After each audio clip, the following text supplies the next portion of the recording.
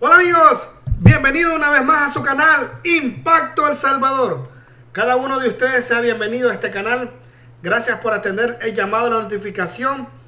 De antemano te pedimos que nos regales un like para este video. Ese es el apoyo que te pedimos.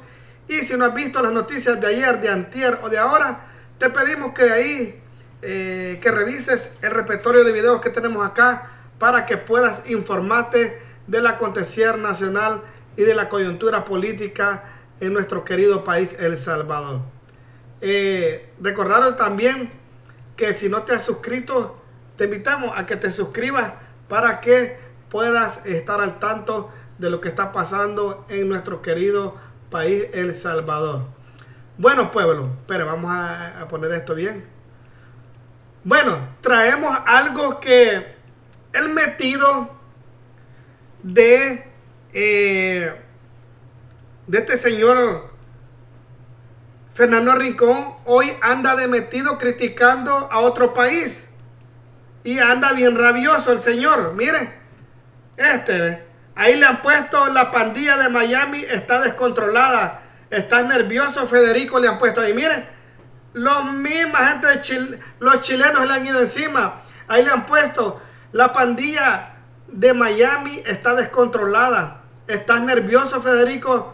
No pudiste con Maduro Venezuela cuando estaba bien caído. Ahora te agarras con Castillo. Quien lo tiene en la lona anda, anda a llorar, anda a llorarle al Malgro, vaya. Le sacaron los trapos al sol a este. Pero veamos qué fue lo que dijo este chayotero del, eh, del presidente de Perú. Vamos a ver. Vamos a ver, mire, mire, mire, aquí vamos. A su gobierno. Mayor ridículo. Y que le sigan el juego en la Organización de Estados Americanos. Es insólito. Se lo repito, Pedro Castillo. Revise la historia reciente de Venezuela con Maduro, con Hugo Chávez, donde se pidió un sinfín, un sinnúmero de veces la aplicación de la Carta Interamericana, con Nicaragua. Y no se hizo. ¿Sabe, sabe usted lo grave que es la situación de Venezuela, lo grave que es la situación de Nicaragua y no se llegó al punto y usted está pidiendo esto porque se le está diciendo que es un corrupto y lo están investigando? Mire, presidente Castillo, se lo voy a decir de otra forma, como yo hablo de claro. Sea hombrecito y demuestre, demuestre que de todo lo que se le señala y se le investiga, no es culpable. Si tiene los elementos en la mano, demuéstrelo. Y después de eso, meta preso a aquellos que han mentido, meta presos a aquellos que han mentido en su contra. Porque un artículo que le da impunidad no quiere decir que se esté desestabilizando su gobierno. No es un caso, no son dos, no son tres, no son cuatro, no son cinco, son seis, son siete investigaciones en su contra, presidente Castillo. Si de las siete usted es inocente, déjelos, déjelos seguir intentando y demuéstreles usted ante el Congreso, con sus abogados, con todo el proceso de ley, están equivocados, que están cometiendo un delito, entonces después métalos presos. Pero hacer este ridículo, pedir que se active la Carta Democrática Interamericana, ¿a razón de qué? ¿O qué? Ahí está usted gobernando. Y le repito, no me voy a cansar de tumbarle este discurso, esta narrativa de nueva modalidad de golpe de Estado. Esto no lo es, no lo es. Mayor... Bueno, y este chayotero que se cree que puede andar queriendo mandar a cualquier mandatario o queriendo decir que él tiene la razón. ¿Ah? ¿Quién se cree? Mira, aquí le ha puesto uno que se llama Gloria este hombre Federico es un enfermo, no, no hay duda. Y lo peor, trata de hablar como que tiene una gran solvencia moral. Y lo bueno de todo es que su empresa CNN lo sabe, pero les conviene tenerlo. Bueno, ahí pueden ver ustedes, ¿ves? Ahí pueden ver que la gente eh, eh, se le va encima. Miren, hay el tarifado para tumbar a Castillo, dice. Vaya Ahí pueden ver, dice CNN y todos los periodistas y corresponsales están secuestrados por, por los dueños del canal. El verdadero cuatro poder es el presidente Donald Trump. Los arrinconó por decir la verdad. Dice, vaya, mire, ahí está. Ahí está la gente. Aquí le ponen otro. De Rincón es una lacra. Él no es periodista, es un asalariado. Vergüenza del gremio periodístico. Él no habla de presunción ni inocencia cuando es alguien de los de él. Le pagan para desacreditar. No le importa que sean siete mentiras montadas. Ahí pueden ver cómo se lo están acabando a este señor eh, que ya saben cómo es, va, de, de, de, de, chayotero. Pero bueno, cambiemos de tema de ese. Fíjense, pueblo, que eh, aquí también Numa Salgado le, le sacó el machete desenvainado a Mauricio Funes. Porque Mauricio Funes se enojó de que de que el diputado Numa Salgado haya puesto una, una, parte donde se ha abierto un proceso en contra de este, le han, le han hallado otro delito. A lo cual el Mauricio Funes bien cachimbado contesta y le dice, me refiero por supuesto en este tuit del diputado y, dice la palabra del partido Gana, hermano de otro idiota, dice que es el alcalde de San Miguel y con cuál compite la idiotez, dice, porque aquí le puso expresidente del FMLN acorralado, se seguirá orden de captura contra Mauricio Funes. Eso fue lo que puso el diputado Numa Salgado y a eso se sintió bien enojado, eh, acorralado el, el, el, Mauricio Funes. Entonces Numa Salgado le vuelve a contestar y le dice, don ladrón se enojó, dice, usted tiene en Nicaragua por cárcel, ni a Costa Rica puede ir porque le pasaría lo mismo que, que a su suegro, el papá de la Michi, le dice, vaya. O sea, en pocas palabras le está diciendo, Nicaragua es tu cárcel, no puedes salir a ningún lado porque donde quiera que vayas te van a pescar la Interpol. Vaya, ahí está, le sacaron los trapos al sol ahí a este señor de, eh, a este Mauricio Funes, que solo anda de muy ahí, de muy, de muy bravito. Vaya, ahora vamos a otro. Ah, fíjense que estaba viendo pueblo salvadoreño. Permíteme. Mucha gente eh, se pregunta este, cuántos años tiene eh, acá Walter Araujo de haber salido del partido Arena. Prácticamente tiene 10 años.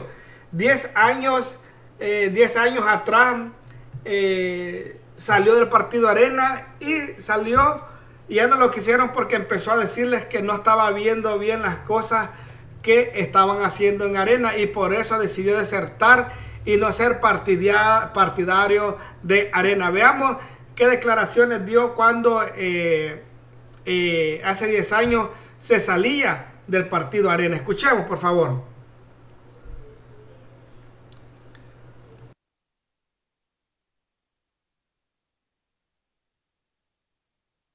Eh, eh, eh, no en lo que yo aspiraba, a lo que yo quería verla, en un partido cerrado, carente de democracia, carente de desarrollo y de evolución democrática, y por lo tanto ya no quepo dentro de mi ser político, de lo que yo creo para la democracia de mi país, pertenecer a esa fuerza política. Yo les deseo los mejores éxitos, agradezco a, a las personas a las cuales yo les profeso un gran cariño y un profundo respeto y amor. Ellos tienen todo el derecho de seguir perteneciendo al partido. Hay muchos que me acompañan en esta decisión eh, que yo he tomado y que también van a dejar las filas del partido, pero es eso, o sea, simple y sencillamente ya Arena conmigo no tiene nada que ver ni yo tengo nada que ver con él. ¿Por qué tomar esta decisión ahora y no antes cuando siempre hubo controversia y dimes que diretes con el candidato a la presidencia de porque no es candidato, para empezar no es candidato, el señor está muy ocupado tratando de ver si obtiene un finiquito y a saber si lo será, ojalá, ojalá lo obtenga, pues para bien de él, ¿verdad? Y de yo le deseo de verdad que, que pero puede ser que hasta se quede en la aspiración de ser nada más aspirante presidenciable. Eh, yo sinceramente con él eh, no tengo nada en contra, le deseo lo mejor en la vida como ser humano, como persona, ya mis consejos, ¿por qué hasta ahora?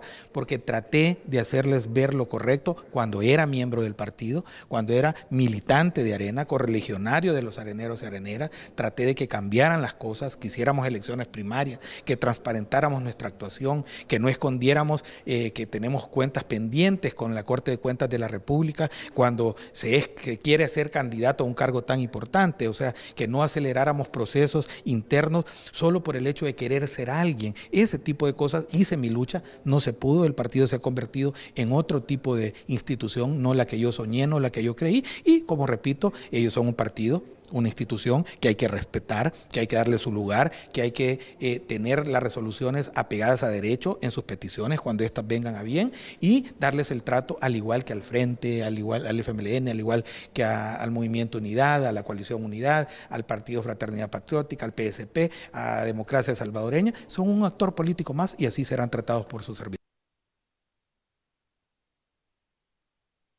Bueno, ahí podemos ver cómo en las declaraciones de, eh, de Walter Arajo, aunque eh, cuando se salió del partido Arena. Bueno, razón tuvo Walter Arajo en salirse de ese partido corrupto y podrido y ahora es un aliado del gobierno que ha jalado muchos votos porque hay que hablarlo.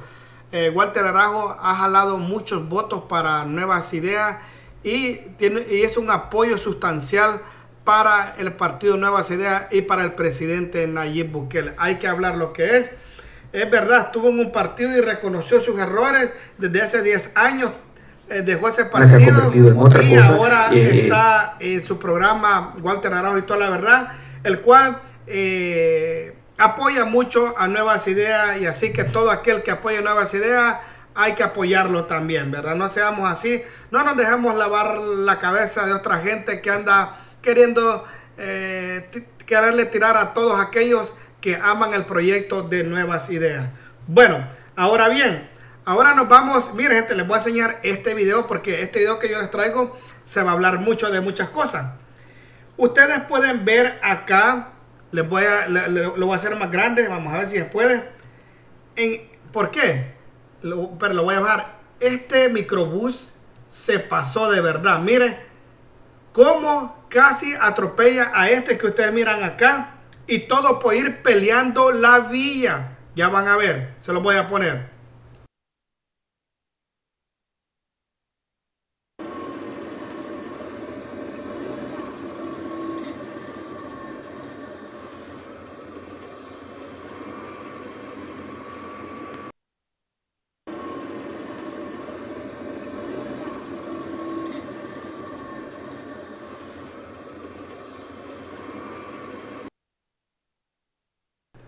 Ahí pueden ver ustedes la imprudencia. La zona peatonal se pasó, esa, se fue manejando en esa zona peatonal.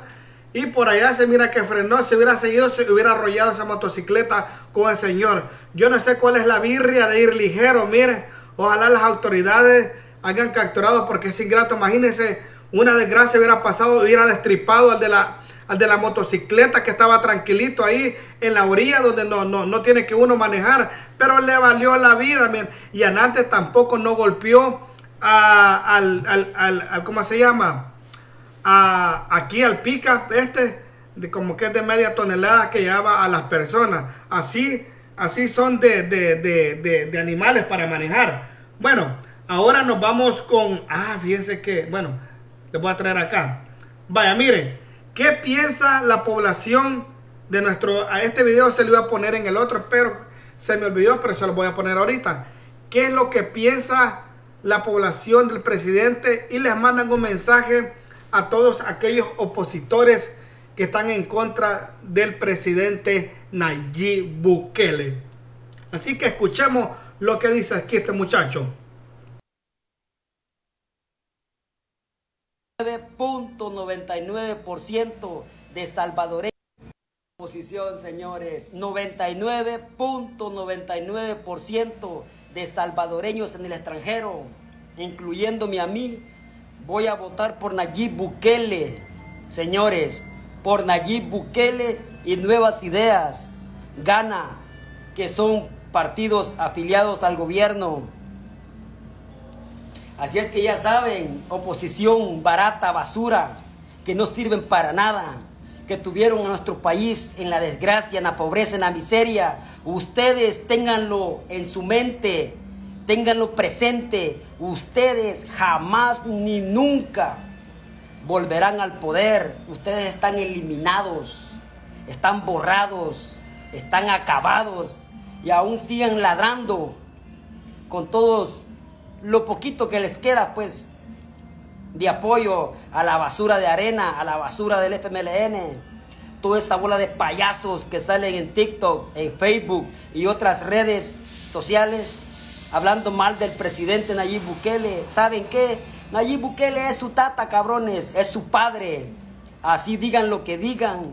Nayib Bukele no necesita del 1% de gente delincuente como son ustedes. Así es que es por demás. En Estados Unidos el 99.99% votará por Nayib Bukele. Esa es la merita verdad. ¿Quién va a votar por la basura de arena? ¿Quién va a votar por la basura del FMLN? Y otros partidos garras que están por ahí, como el partido de Vamos, de Claudia Ortiz. Aquí en Estados Unidos, señores, en Canadá y otros países donde viven los salvadoreños, que nos sacaron de allá por las leyes basura que tenían esos presidentes de Arena y el FMLN. ¿Ustedes creen que nosotros vamos a votar por basura? Jamás. Viva Nayib Bukele, señores. Viva la Asamblea Legislativa. Viva nuestro pueblo salvadoreño. Y así les arda toda esa basura.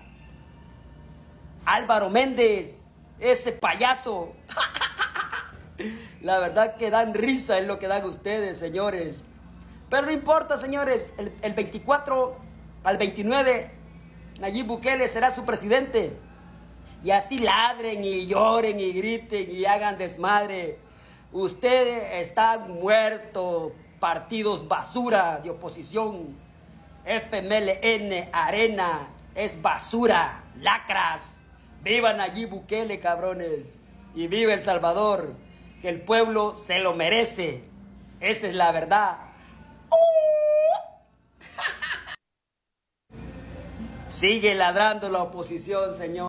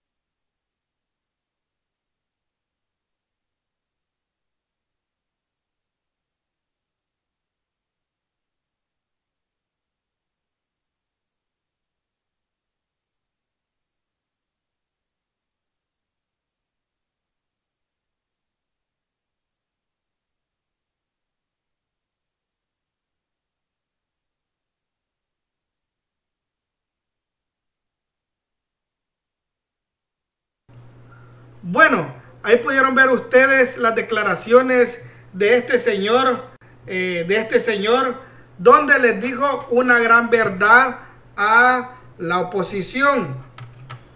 Le dijo de que, eh, pues sí, que no servían para nada y que, y que no iban a hacer nada. Y que le duela, aunque le duela al presidente Nayib Bukele, es su tata. Y es una gran verdad. Ahora bien, tenemos acá otra declaración de otro donde eh, este dice una gran verdad. Este señor es un opositor del gobierno. Es un opositor que le pasa tirando al gobierno, pero también reconoce los logros del presidente Nayib Bukele y reconoce que la gente aplaude la gestión del presidente de la República Nayib Bukele. Así que vamos a escuchar lo que dice el opositor. Del gobierno. La entrega, de computadoras es un, es un hito en, la historia de la educación de este país.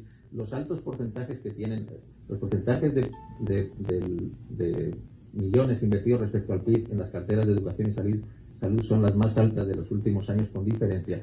estamos viviendo la etapa con la menor, la menor incidencia de la violencia homicida de la historia reciente del país.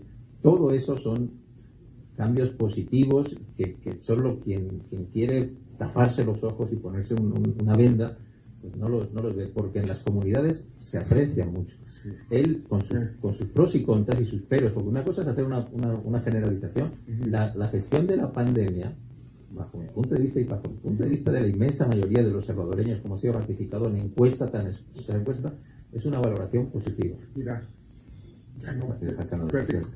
No, no, es que no. ahí sí que no. Estuvimos en Las Margaritas, en Soyapango, estuvimos en la Santa de Ulises, que es eh, en el lado de las campaneras, cruzando la calle, y en la Monte Blanco.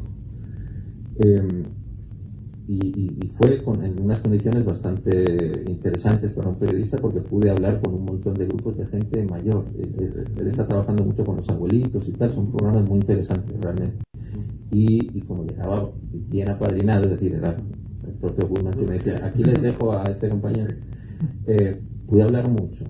Y, es evidente que en esas comunidades eh, existe un gran agradecimiento hacia, cómo están las, condiciones ahora en el tema de las pandillas. Que eso es lo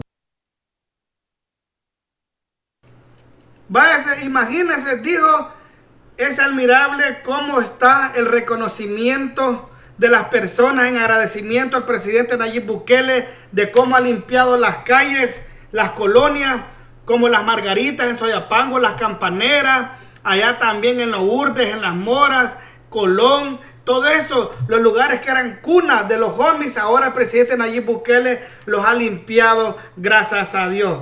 Bueno, eh, recordarte que si no estás suscrito a nuestro canal, te suscribes y actives la campanita de notificación para que te pueda llegar todos los videos, ¿verdad? Y regálame un like para este video y qué piensas de que el pueblo eh, peruano le cayó la boca al metido de...